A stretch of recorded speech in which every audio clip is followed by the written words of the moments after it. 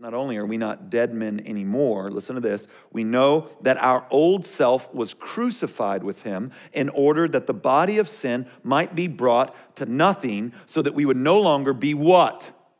Enslaved to sin. Now, here's where things get really interesting for us men, all right? Here's what's just happened. In Christ, we have been raised from the dead. So, all that whole list sinful passivity, sinful uh, aggression now, we've been saved from that. We've been called out of death and into life by Christ.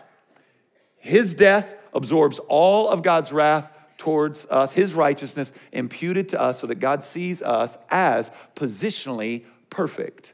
On top of that, God gives to us the Holy Spirit to strengthen the inner man to pursue our God given place as walking in headship. So now that we've got the Holy Spirit in, inside of us, strengthening us, we don't have to say yes to any of this anymore. Like before God saved us, before Christ raised us from the dead, before the Holy Spirit was given to us, these things were going to own us. They were going to get us. Now that we have the Holy Ghost, we can say no.